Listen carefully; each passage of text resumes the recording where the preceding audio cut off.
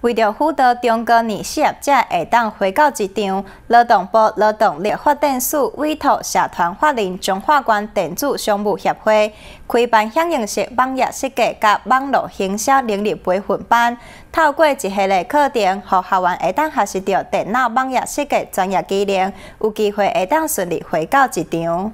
一个半月，两百八十点钟的课程，让学员会。当学习到电脑网页设计专业技能。若是有机会，会当顺利再度就业。劳动部劳动力发展署中中道分署为着要协助咧找头路的人，会当学着第二专长，是委托社团法人中华关电子商务协会开办响应式网页设计甲网络营销能力培训课程。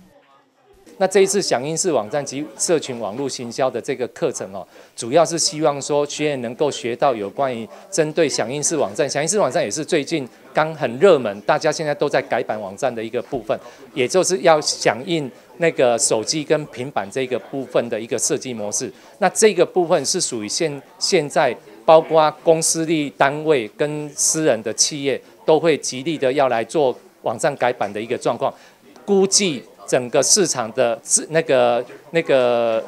资本的话，大概将近有上亿元的一个产值哈，所以我们这一次就是来提这个计划，那也很感谢分组这边给我们通过哈。那这一次学员所学到的这一个部分，有包括美平面美工的设计的一个技巧，还有响应式网站设计的一些模组化的一个处理模式，还有再加上社群行销的一个那个。营运的一个状态，那这些都能够带给学员对于这个市场的一个应用的部分，都能够完全的符合。在校园当中，有真侪拢是中高龄失业了后，希望下当二度就业，透过课程，可以学到另外一个专长。想说学习一技之长啊，因为我一直认为说，二度就业的职场不该只是，呃，就说安阳。的服务员啊，造服务员啊，或者说是那个整理环境的，对，应该也有他的一个呃另外一个强项，所以想把自己说自己的能力能够培养好。除了二度就业之外，透过课程，和校员会当将所学的计学生活，只要伫厝内就会当架设网站，开拓事业第二个春天。当初，当初其实也是朋友介绍这样子，朋友告诉我说，哎，这边有个呃协会，他们有在办办训这样子，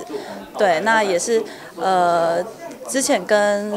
我家人，我们有想说要做一个自自己想要做一个网站这样子的，对，所以才想说过来这边学。这项课程是由劳动部补助，只要是特殊待业者，会当全部免学费，就算是一般待业者的人。嘛，只要负担百分之二十的费用，这对失业者来讲是开创事业第二个春天上好的选择。新中华新闻北平林中华采访报道。